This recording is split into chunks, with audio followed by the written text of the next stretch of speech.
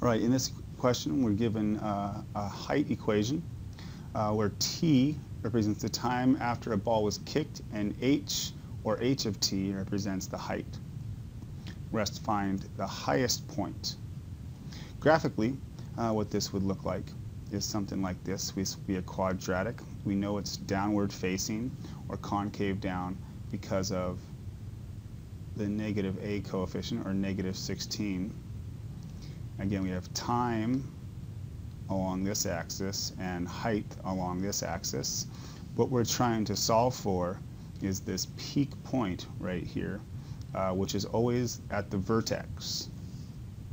Okay, so we, since we have uh, a quadratic in standard form, we're going to use the quadratic equation, or sorry, the quadratic formula for vertex um, to solve this. In this case, the vertex occurs at negative b over 2a.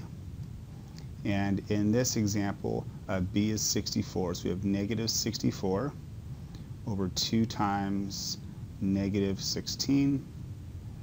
This ends up being negative 64 over negative 32, which is 2. So this gives us uh, the time value, the input value of the height of the ball. So it tells us when it happens. In this case, time was seconds, so it's after two seconds. To find the actual height, well, we just got to plug in 2 to the original function and evaluate it.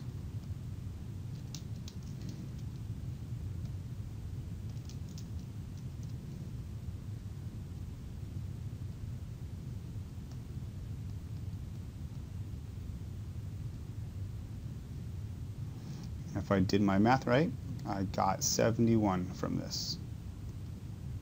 And again, what that tells us is this height was 71 after two seconds. We found two seconds using the vertex formula for a, a quadratic in the standard form here.